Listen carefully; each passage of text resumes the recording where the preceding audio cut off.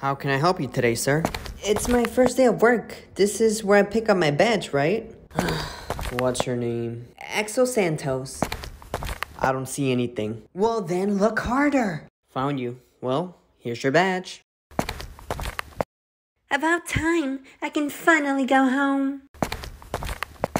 Hey, Helga, I need your help.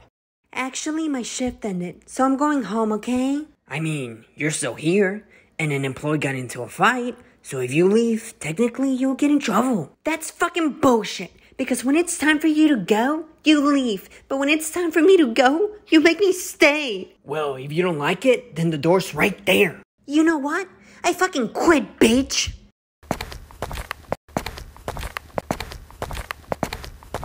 Hi, Axel. My name is Gabriel from Human Resources, and I need you to come with me. What? But I haven't even done anything wrong. Why do you want to talk to me? It's for a random drug test. Now come on, let's go. All right. They told me this is the place for the drug test? Not exactly. I'm the boss of the building, and I wanted to talk to you, Axel. Am I in trouble?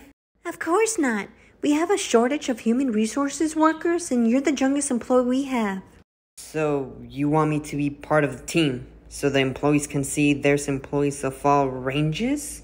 Exactly. So, congratulations on the promotion. Here's your name tag.